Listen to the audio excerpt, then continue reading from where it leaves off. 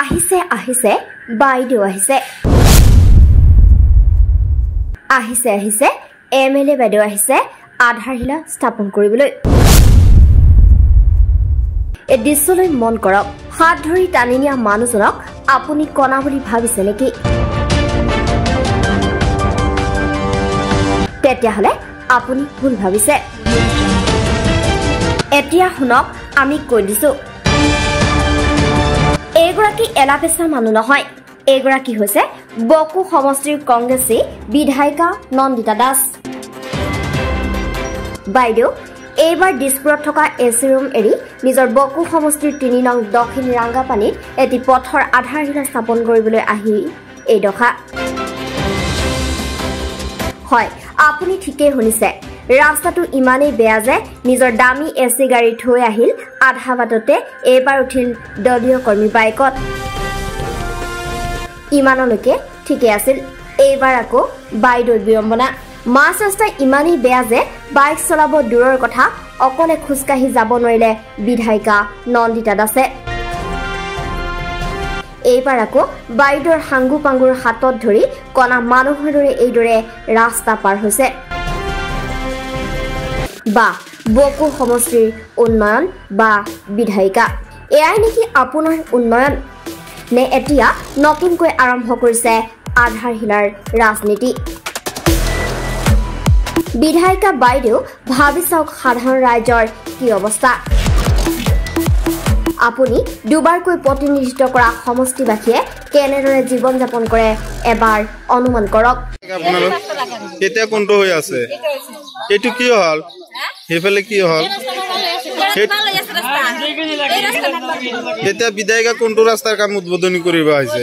সেইটোতে মানুহ কিমান চলে? সেইটোতে ক'ত যায়? কি ক'ম মানে আজি আমি দেখা পালোঁ ছ'চিয়েল মিডিয়াৰ যোগেদি দেখা পালোঁ। তেখেতে আজি ৰাংগাপানী গাঁও পঞ্চায়তৰ মোল্লাপাৰা তিনি নং দক্ষিণ নাগামালী বুলি কয়। সেই অঞ্চলসমূহত আজি তেখেতে পদাৰ্পণ কৰিছে। দুখ লগা কথা আচৰিত কথা তেখেতে যিখন বিলাসী বাহন সেইখন গাড়ী তেখেতে চৌধুৰী পাম্প জিপিত থৈ আহি থৈ খোজকাঢ়ি নাইবা বাইকেৰে তেখেতে সেই ঠাইসমূহত পদাৰ্পণ কৰিব লগা হৈছে। ইমান বেয়া ৰাস্তা তেখেতে নিজৰ গাড়ীখন বেলেগ জিপিত বা মটৰত থৈ কেনে তেখেতে আজি খোজকাঢ়ি আহিব লগা হৈছে। আৰু আচৰিত কথা এনেকুৱা বেয়া ৰাস্তা তাততো কোনো গাড়ী মটৰ নচলে আজি তেখেতে নিজেই প্ৰমাণ পালে। তথাপিও এই অঞ্চলসমূহৰ উন্নয়নৰ ক্ষেত্ৰত তেখেতে কেতিয়াও কাণসাৰ নকৰে কেতিয়াও তেখেতে নেভাবে যে এই অঞ্চলসমূহৰ ৰাইজে আমাক নাইণ্টি নাইন পাৰ্চেণ্ট ভোট প্ৰদান কৰা কৰিছে। কিন্তু আমি উন্নয়ন কিয় নকৰোঁ? এই কথা তেখেতেও কেতিয়াও নেভাবে আৰু মই ভাবোঁ তেখেতক যে আমি ব্যৰ্থ বিধায়িকা কওঁ আৰু তেখেতে ব্যৰ্থ হোৱাৰ কাৰণে এই এই আমাৰ এই অঞ্চলসমূহৰ ৰাস্তা ঘাটসমূহ তেখেতে কেতিয়াও নেভাবে। দ্বিতীয় কথা হ'ল আজি তেখেতে যেতিয়া এই ৰাস্তাসমূহ সেই মুহূৰ্ততেই তেখেতৰ সন্মুখেদি ঘোঁৰাৰ গাড়ী গাড়ীৰে এজন এজনী বেমাৰীক তেখেতে লৈ যাব লগা হৈছে। তেখেতে নিজে চকুৰে প্ৰত্যক্ষ কৰিছে কিন্তু তেখেতৰ তথাপিও জ্ঞানত নধৰিলে তেখেতৰ মগজু- মগজুত নধৰিলে যে এই ৰাস্তাসমূহ যে আমাৰ প্ৰয়োজন কেতিয়াও তেখেতে নেভাবে।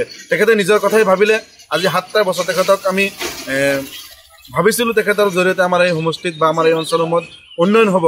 কিন্তু উন্নয়নৰ ক্ষেত্ৰত আমি ক'ব গ'লে তেখেত তেখেতৰ নিজৰ ঘৰ বাৰীও সম্পত্তি উন্নয়ন হ'ল কিন্তু আমাৰ সমষ্টিবাসী ৰাইজৰ কোনো উন্নয়ন নহ'ল। আমি এক কথাত ক'বলৈ ক'বলৈ বিধায়িকা আমি অকামিলা বিধায়িকা আৰু ব্যৰ্থ বিধায়িকা বুলি আমি তেখেতক গণ্য কৰোঁ। দেখা যায় ছ'চিয়েল মিডিয়াত বিধায়িকা বহুত উন্নয়নমূলক কাম কৰাৰ এইটো কথা কিন্তু সঁচা। তেখেতে ছ'চিয়েল মিডিয়াত বহুত উন্নয়ন কৰিছে বহুত আধাৰশিলা স্থাপন কৰিছে বহুত আধাৰশিলা আধাৰশিলা হৈ থাকিলে কিন্তু বাস্তৱ ক্ষেত্ৰত তেখেতে ক'ব গ'লে কোনো উন্নয়ন হোৱা নাই। তেখেতৰ আজি আমাৰ সমষ্টিবাসী ৰাইজৰ লগত তেখেতে প্ৰতাৰণা কৰিছে চিটিংবাজি কৰিছে। কি কৰিছে জানেনে? বৰ্তমান আমাৰ পঞ্চায়তৰ সমূহত যিসমূহ কাম আছে সেই কামখিনি তেখেতে আজিকালি উদ্বোধনী কৰিবলৈ আহে। নিজৰ কামটো নায়ে নিজেতো কোনো কাম দিবই নোৱাৰে।